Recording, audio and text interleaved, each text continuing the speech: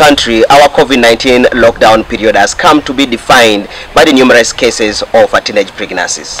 Here in Ajumani district today, I bring you a story of a resilient young mother who has used this period to equip herself with skills. And her story begins like any other teenage love affair. He was in secondary school while I was in primary.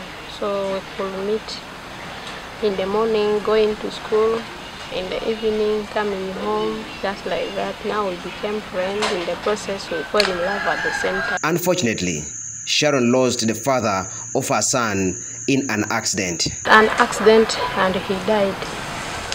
He left me when I was still pregnant with the baby. So I could not manage to stay by my own as a single mother at the age of 16 years old. And even at their home, he was the firstborn. The father also died. There is no one who is supportive to me. When the country went through the COVID-19 lockdown, Sharon picked up the pieces of her life. Together with her son, she left her home district of Arua and moved in with her elder sister in Ajumani town. The sorrow that she went through, Sharon has always had a dream of becoming a professional tailor. During the COVID-19 lockdown, she enrolled at the Moyo Technical Institute to acquire skills in her field. Today, she makes an average of five bags, which she sells to the community around her. As she conducts her daily chores at the Ajumani Medical Quarters, Sharon is inspired by the need to provide for her son and the pursuit of her own dream. Always dreamed to be a tailor. I had that dream to be a tailor, but as soon as I deliver, this this man died. So it became so difficult for them to pay for my school fees as well to take care of my son. I, I just want to pay his school fees. Today, she is graduating with a certificate in tailoring. She's beaming with happiness, a true testament that no situation is permanent. It's a prime example that your dreams do not have to die. Today as we speak, she is among the 152 students who have graduated from the Moyo Technical Institute in various vocational courses. We shall never go back to our past. We are changed.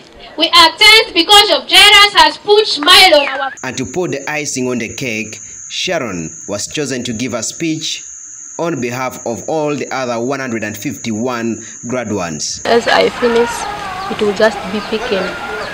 People buy it each and every time, so it makes me busy each and every time.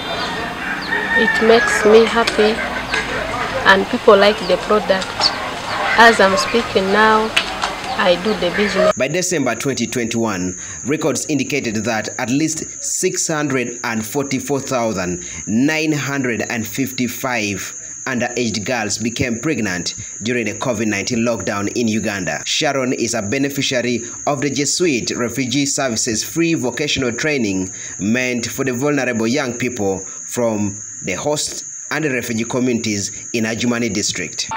Then I will end up going to the market uh, and uh, advertise myself and work and uh, be successful. 26-year-old Richie Fraser Tongu is another beneficiary of the vocational training. He originally comes from Kerepi in the eastern equatorial state of South Sudan. To parents with little resources to further the education of their children, these vocational courses mean the world and a future for young Ugandans like Sharon.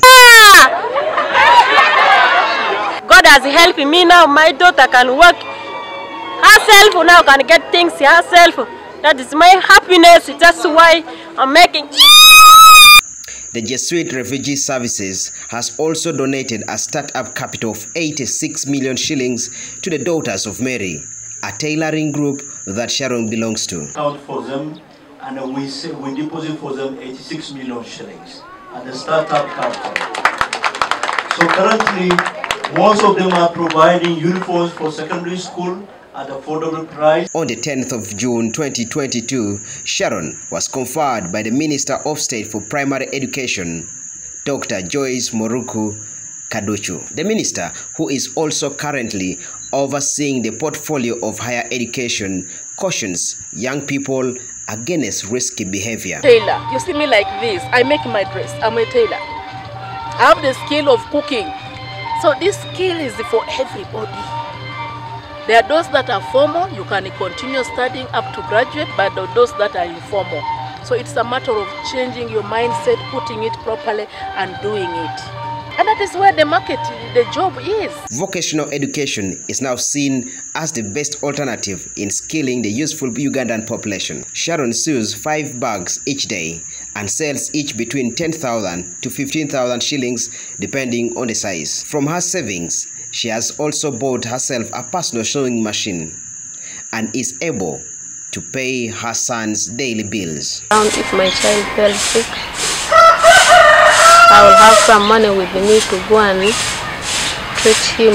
Not much, but that little one will come for me from me. country with a very young population, Sharon's story can be an inspiration to very many young girls out there who conceived during the lockdown.